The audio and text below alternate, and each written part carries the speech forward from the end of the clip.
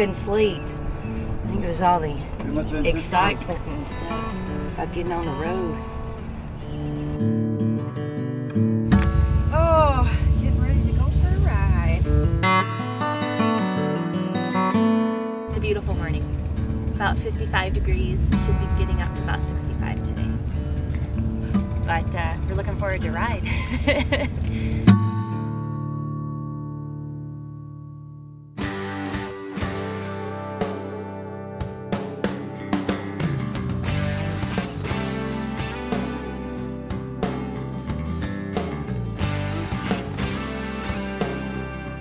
I started riding at age nine, along with my two brothers.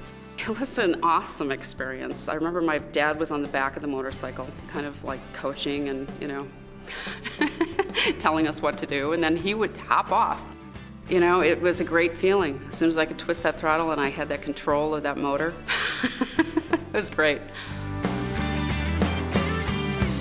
You got the wind, you got the control of the motor, you got beautiful scenery, Very liberating. Not just liberating, just- but the friendships that Yeah. have developed are incredible. You mm-hmm. you bond with these women like now.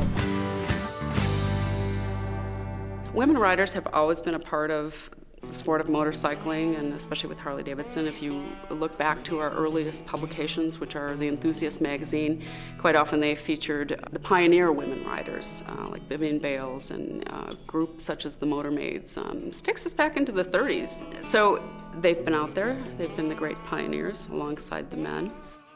The spirit of the road is, is certainly infectious. It's got its history that goes way, quite, quite a ways back.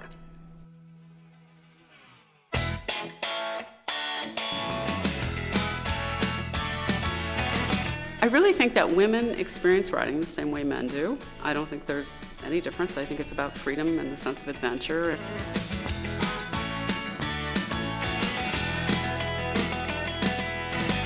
the feeling of owning your own Harley and being in control of where you're going and what you're doing and not being on someone else's agenda and someone else's program. It's taking control of your own person. It's an amazing feeling. It is quite empowering, and men and women feel the same way. You are the, the pilot of, of that bike, you're behind the handlebars, you're controlling it, and uh, that feels terrific.